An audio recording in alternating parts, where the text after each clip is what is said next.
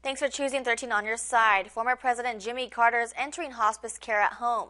A statement from the Carter Center says the 98 year old has decided to spend his remaining time at home with his family and receive hospice care instead of additional medical intervention. Carter recently had been in and out of the hospital for short stays.